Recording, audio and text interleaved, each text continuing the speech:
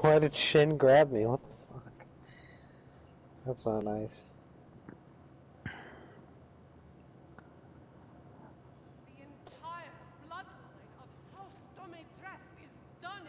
Chaz.